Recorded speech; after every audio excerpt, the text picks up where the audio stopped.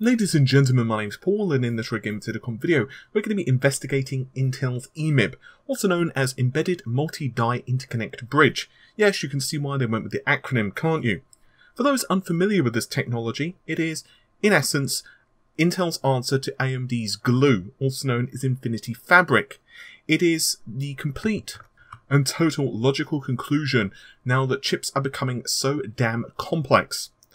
When we look at the older chips, which were monolithic designs, although they did have distinct components, they would have CPU cores, of course, they would have memory controllers and other I.O., they would naturally have graphics cores or whatever else was required of them, they were essentially part of one large ass die. The problem with that is the bigger the chip, well, as you can imagine, the greater the chance of defects. Sure, you can, of course, do the whole thing of binning those chips and subjecting them to yields. In other words, let's say you are producing a four core processor, two of those cores are defective. Well, guess what?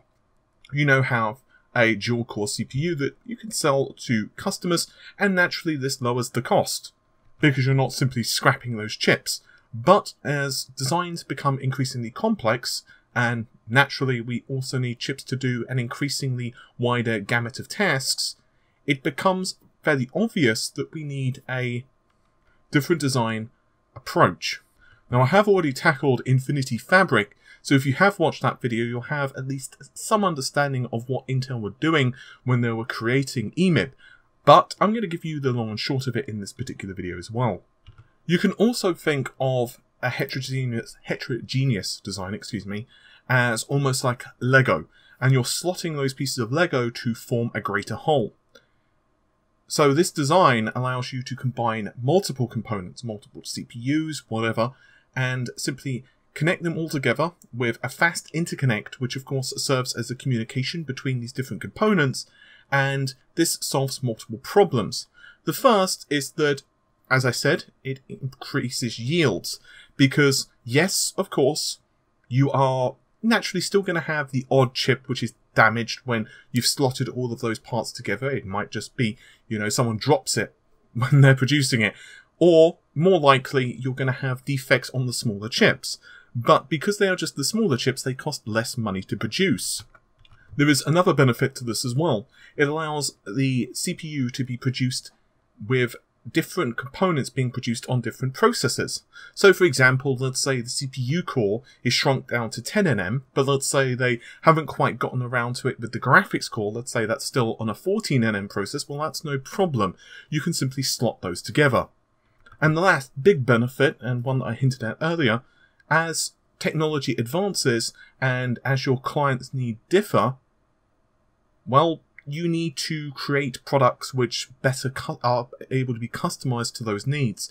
Think of it much like uh, AMD did with Sony and Microsoft, where Microsoft said to them with the Scorpio, hey, we need to hit this performance metric, we need to do it within this power budget, and we also need it within this cost as well. What can you do? And then, of course, AMD hit them back and said, okay, these are the components that we have available. Here's what we can do. These are the, probably the, you know, the clock speeds that we can run with this particular set of processors. And then naturally it was tweaked. Much the same with um, the PlayStation 4 Pro, where its GPU was almost cherry picked. Parts of Vega were plopped in, parts of the older architecture were plopped in, and then they also used the older Jaguar CPUs to power it.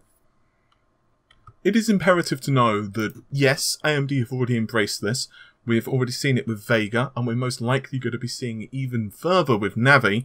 AMD also using it for Epyc and Fred Threadripper as well, and Nvidia also jumping in on the act as well with Volta. But there are multiple different ways of creating a heterogeneous type of uh, processor. There are multi-chip packages, silicon interposer, and the EMIB, once again, embedded multi-die interconnect bridge. Going quickly through the other two options, multi-chip packaging, well, it has a few problems. The first is that you are connecting the dies through the package substrate itself. However, you have poor connection density. And where the connections meet, you also have a, a low amount of die-to-die interconnects as well. This basically limits connectivity options and performance. The second option is better from a performance standpoint. You have silicon interposer. Now, it's great for density of die-to-die connections, great for uh, die-to-die interconnects, which is obviously a good thing. But unfortunately, you have cost to concern yourself with this. This is typically a 2.5D packaging. Now, how this works is essentially you have a thin layer of silicon, and this is essentially sitting between the die and the package substrate. In other words, you can think of this as a set of wires, if you will, which goes between the two dies. We've seen this very much Uh, in well technology in the vein of this with like high bandwidth memory as well, where you have the HBM memory sitting on the substrate, and then you've got the CPU as well, and basic I'm sorry the GPU as well, and basically all of those are connected with once again you could just think of them as little wires which go into each CPU component or whatever else it needs to do. Naturally, Intel are claiming that they have the better piece of technology. EMIB has good density, good density of die-to-die and die-to-bridge connections, but, and this is the important thing, it fixes the issue with the silicon interposer. Not a technical issue, but more a logistics issue, the cost. Obviously, price is a problem.